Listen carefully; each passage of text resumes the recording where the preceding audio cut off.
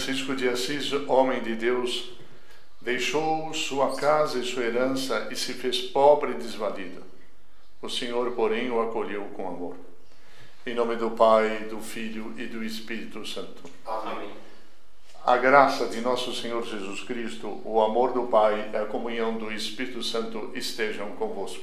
Bendito seja Deus que nos reuniu no amor de Cristo. Vamos oferecer especialmente no dia de hoje a festa de São Francisco de Assis, o glorioso São Francisco. Vamos oferecer por todos aqueles que estão nos acompanhando agora através uh, da TV Arautos, nossas redes sociais, Facebook, Twitter, WhatsApp, a grande família no WhatsApp e também no Telegram.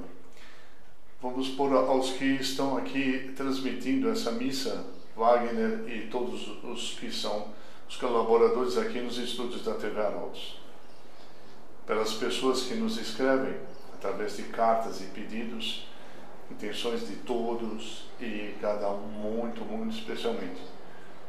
Pelos aniversariantes do dia de hoje, eh, vamos por pelas santas almas que estão no purgatório, pelo nosso Monsenhor João, nosso fundador, e pelas obras, pela obra dos arautos do Evangelho no mundo inteiro. Agora convido a todos a rezar nosso ato penitencial, pedindo a Deus perdão por nossos pecados. Irmãos e irmãs, reconheçamos as nossas culpas para celebrarmos dignamente os santos mistérios.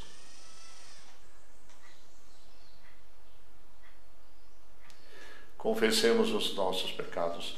Confesso a Deus Todo-Poderoso e a vós, irmãos e irmãs, que pequei muitas vezes por pensamentos e palavras, atos e omissões, por minha culpa, minha tão grande culpa, e peço à Virgem Maria, aos anjos e santos, e a vós, irmãos e irmãs, que rogueis por mim a Deus, nosso Senhor. Deus Todo-Poderoso, tenha compaixão de nós, perdoe os nossos pecados e nos conduza à vida eterna. Amém. Senhor, tem de piedade de nós. Senhor, tem de piedade de nós. Cristo, tem de piedade de nós. Cristo, tem de piedade de nós. Senhor, tem de piedade de nós. Senhor, tem de piedade de nós. Oremos.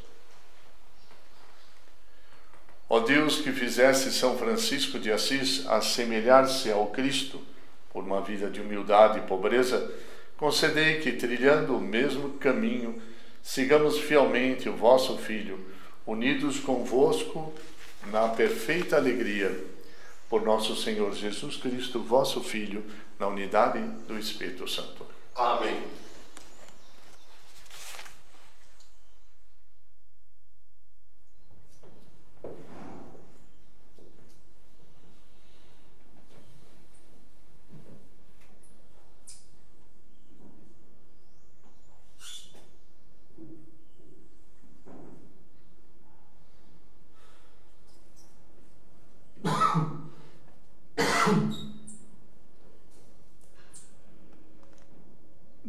Leitura da carta de São Paulo aos Gálatas. Irmãos, certamente ouvistes falar como foi outrora a minha conduta no judaísmo, com que excessos perseguia e devastava a Igreja de Deus, e como progredia no judaísmo mais do que muitos judeus de minha idade, mostrando-me extremamente zeloso das tradições paternas. Quando, porém, aquele que me separou desde o ventre materno e me chamou para por sua graça, se dignou revelar-me o seu filho, para que eu o pregasse entre os pagãos, não consultei carne nem sangue, nem subi logo a Jerusalém para estar com os que eram apóstolos antes de mim. Pelo contrário, parti para a Arábia e depois voltei ainda a Damasco. Três anos mais tarde, fui a Jerusalém para conhecer Cefas e fiquei com ele quinze dias. E não estive com nenhum outro apóstolo a não ser Tiago, o irmão do Senhor. Escrevendo estas coisas, afirmo diante de Deus que não estou mentindo. Depois fui para as regiões da Síria e da Cilícia Ainda não, eram, não era pessoalmente conhecido das igrejas da Judéia que estão em Cristo. Apenas tinham ouvido dizer que aquele que antes nos, prega, nos perseguia está agora pregando a fé, que antes procurava destruir.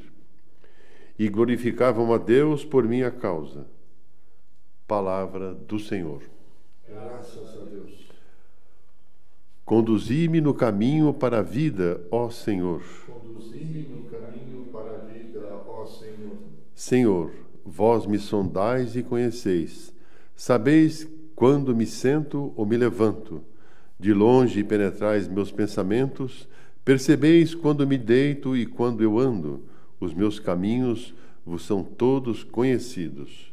Conduzi-me no caminho para a vida, ó Senhor Fostes vós que me formastes nas e as entranhas no, meu no, no seio de minha mãe, vós me tecestes. Eu vos louvo e vos dou graças, ó Senhor, porque de modo admirável me formastes, que prodígio e maravilha as vossas obras. Conduzi-me no caminho para a vida, ó Senhor. Até o mais íntimo, Senhor, me conheceis nenhuma sequer de minhas fibras ignoráveis. Quando eu era modelado ocultamente, era formado nas entranhas subterrâneas. Conduzi-me no caminho para a vida, ó Senhor. Aleluia, aleluia, aleluia. Aleluia, aleluia, aleluia. Feliz quem ouve e observa a palavra de Deus. Aleluia, aleluia, aleluia.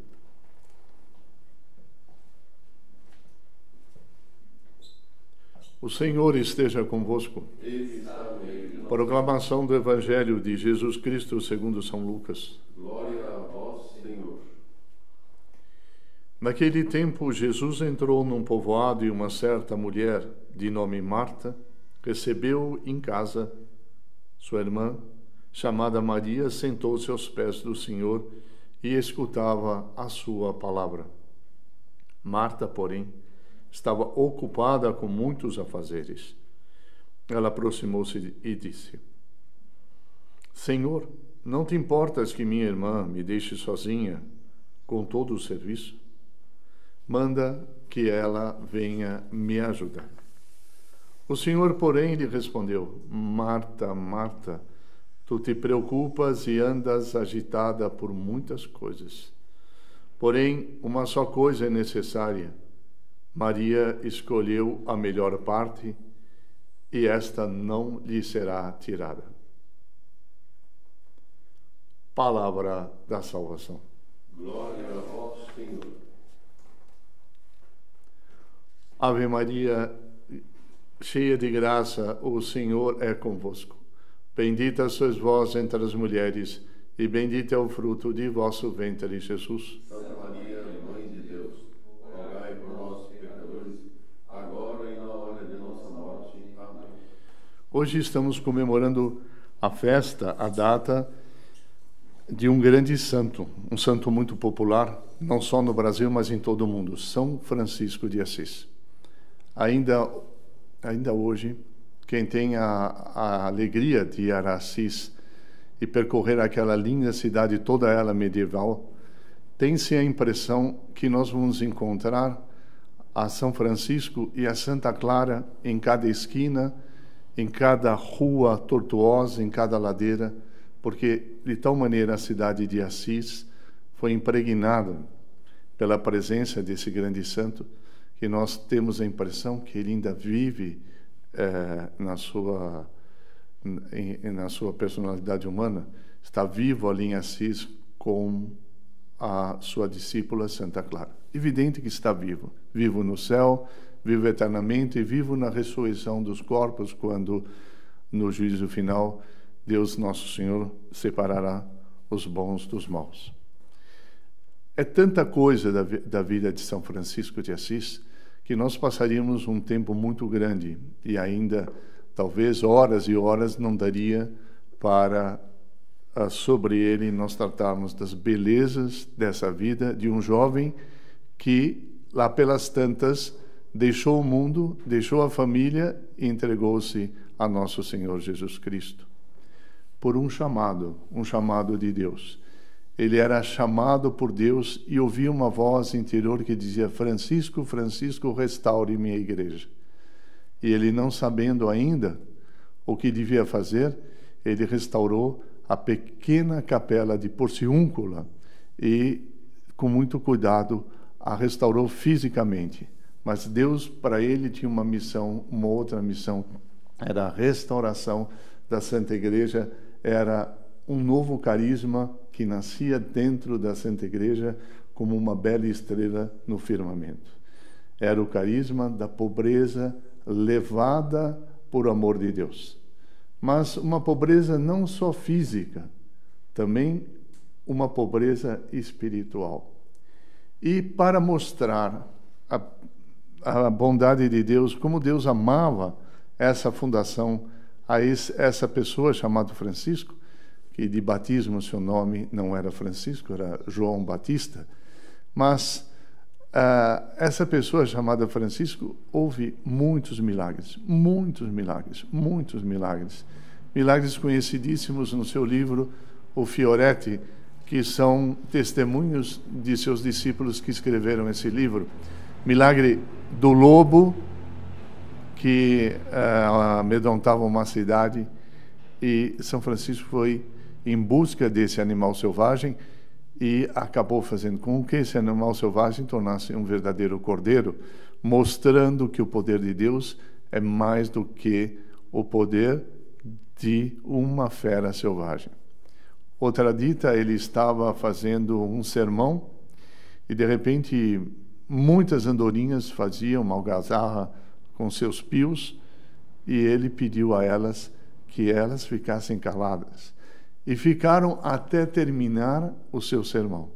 Depois disso, como no estalar de dedos, os, os passarinhos voltaram a cantar e de novo saíram em revoadas em torno de São Francisco de Assis. Nós falamos de pobreza, nós falamos de homem providencial, mas nós falamos também aqui de um santo que recebeu os estigmas, os estigmas recebeu do próprio nosso Senhor Jesus Cristo, um serafim veio e com uma, uma misticamente com uma lança, com uma seta, eh, deu a São Francisco essa, essas chagas benditas que são os estigmas, eh, símbolos e verdadeiramente uma participação na paixão de nosso Senhor Jesus Cristo. Amante da natureza, amante do universo, da água, do sol, das estrelas, mas por quê? Porque todas as criaturas cantam um hino que é um hino a Deus, e esse hino faz com que as pessoas se voltem mais para Deus.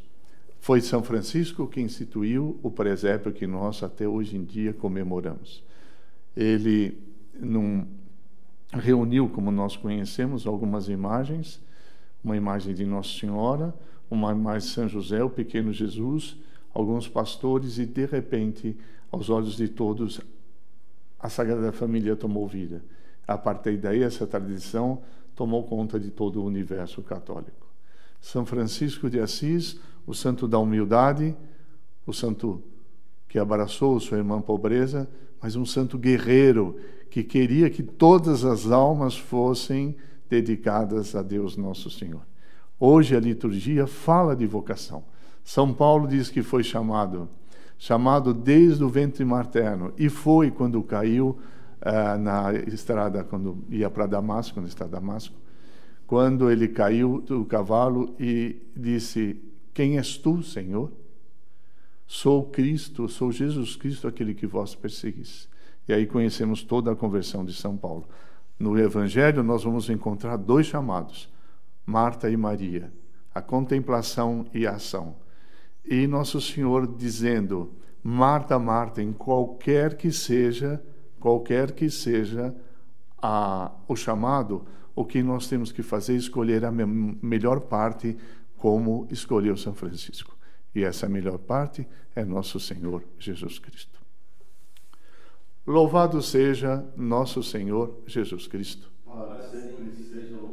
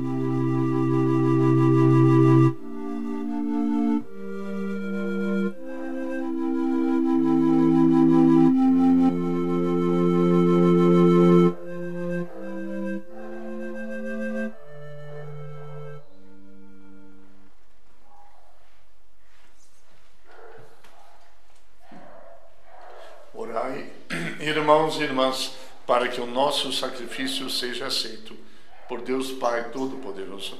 Receba o Senhor por tuas mãos esse sacrifício, para a glória do seu nome, para nosso bem e de toda a Santa Igreja.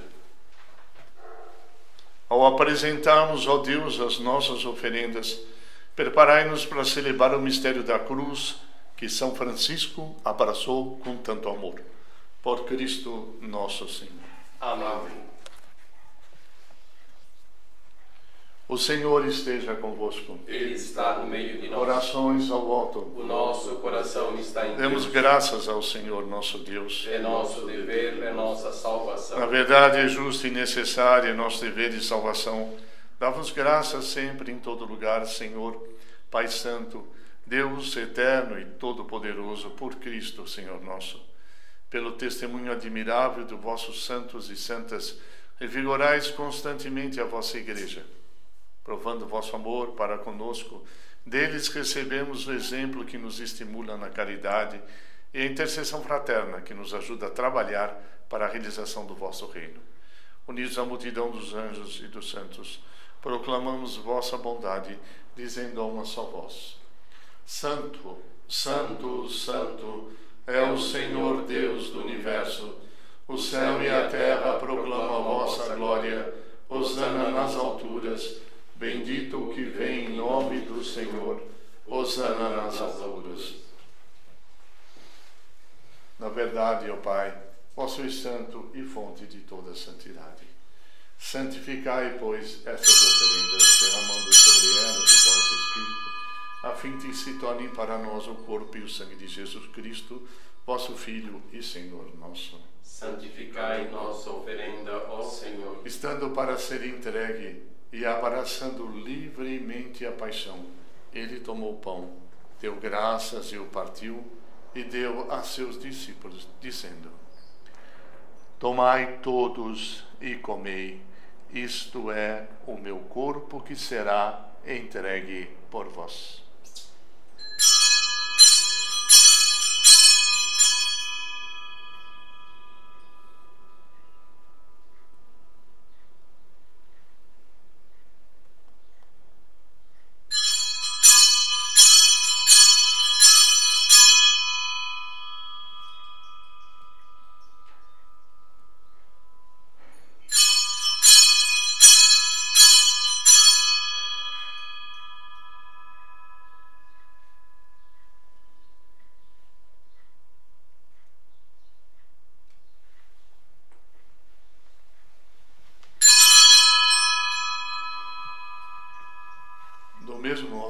Ao fim da ceia, ele tomou o cálice em suas mãos, deu graças novamente e o deu aos seus discípulos, dizendo: Tomai todos e bebei, este é o cálice do meu sangue, o sangue da nova e eterna aliança, que será derramado por vós e por todos para a remissão dos pecados. Faze isto em memória de mim. Eis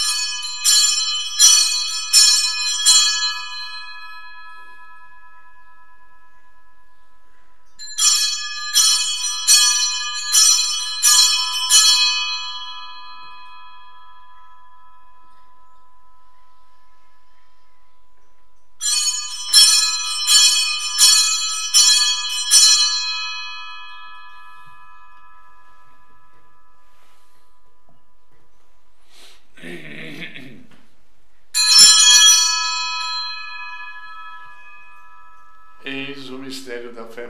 Anunciamos, Senhor, a vossa morte e proclamamos a vossa ressurreição. Vinde, Senhor Jesus. Celebrando, pois, a memória da morte e ressurreição do vosso Filho, nós os oferecemos ao Pai o pão da vida e o cálice da salvação e vos agradecemos porque nos tornastes dignos de estar aqui na vossa presença e vos servir. Recebei, ó Senhor, a nossa oferta. E nós os suplicamos que, participando do corpo e sangue de Cristo, sejamos reunidos pelo Espírito Santo num só corpo. Fazei de nós um só corpo e um só Espírito. Lembrai-vos, ó Pai, da vossa igreja que se faz presente pelo mundo inteiro, que ela cresça na caridade com o Papa Francisco, com o nosso Bispo Odilo, nosso Pero João e todos os ministros do vosso povo. Lembrai-vos, ó Pai, da vossa igreja. Lembrai-vos também dos nossos irmãos e irmãs que morreram na esperança da ressurreição de todos os que partiram desta vida.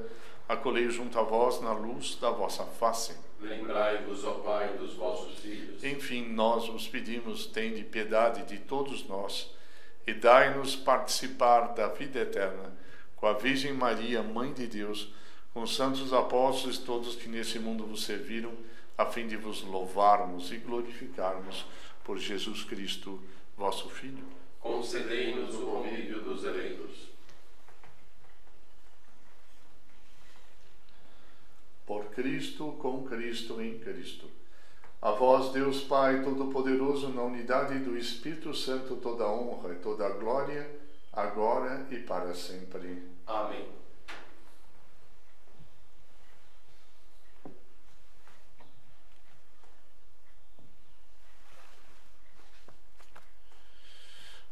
Obedientes à palavra do Salvador e formados por seu divino ensinamento, ousamos dizer: Pai nosso que estais nos céus, santificado seja o vosso nome.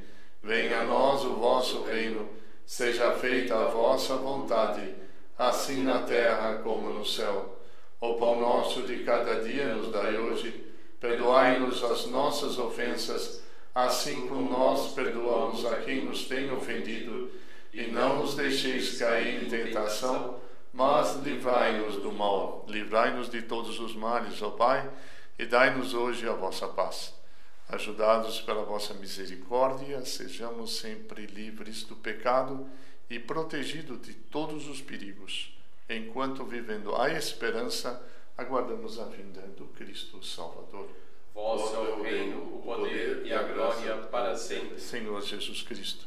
Dissesse aos vossos apóstolos: Eu vos deixo a paz, eu vos dou a minha paz. Não oleis os nossos pecados, mas a fé que anima a vossa igreja. Dai-lhe, segundo o vosso desejo, a paz e a unidade.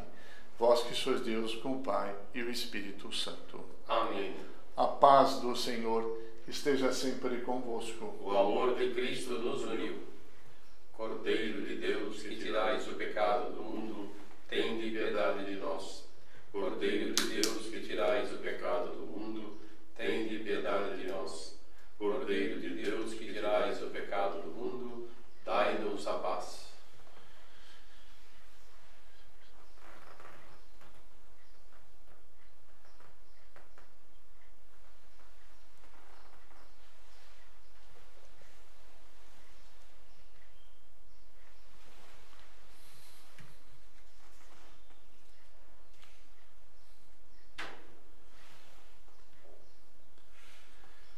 Felizes os convidados para a ceia do Senhor. Eis o Cordeiro de Deus que tira o pecado do mundo.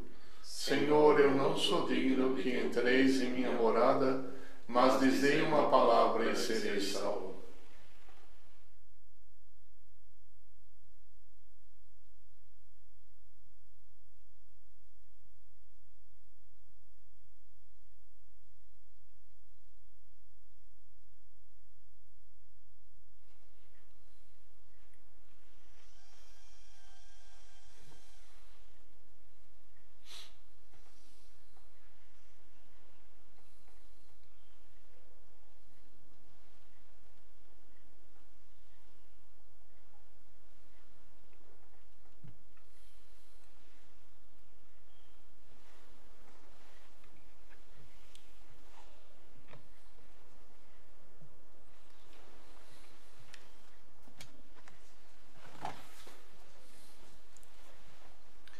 Bem-aventurados os que têm um coração de pobre, porque deles é o reino do céu.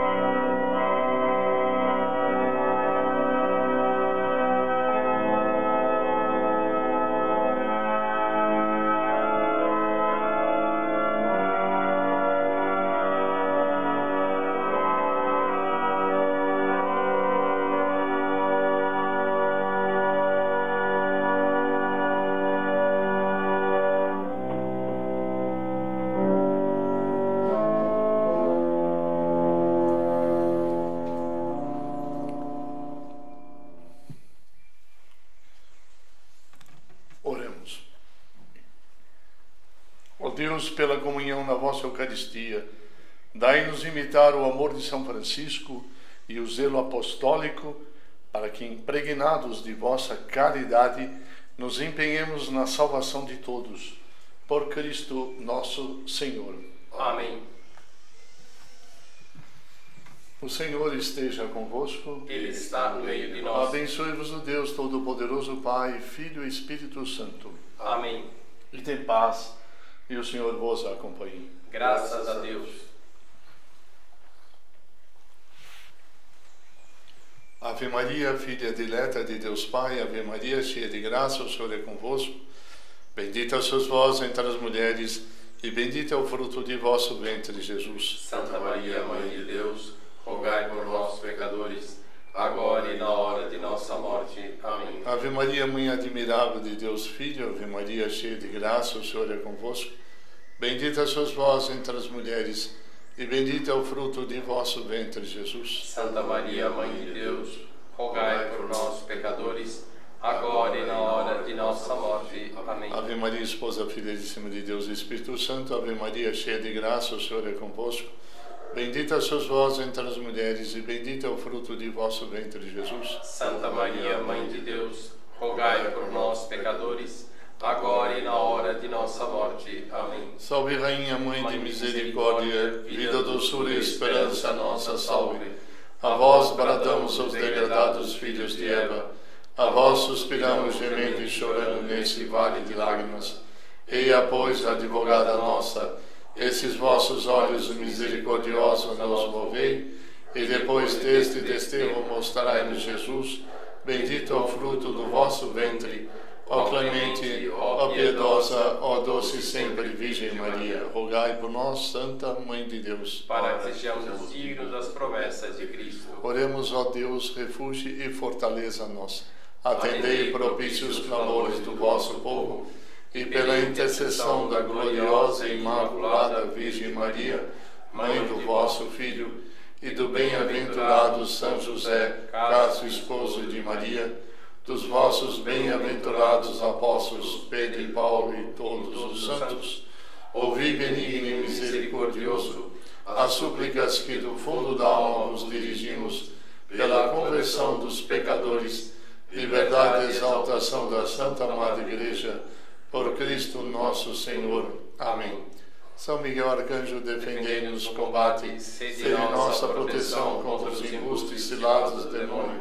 Subjugue Deus, instantemente o pedimos, e vós, príncipe da milícia celeste, pelo divino poder, prestai ao inferno Satanás e aos outros espíritos malignos que andam pelo mundo para perder as almas. Amém.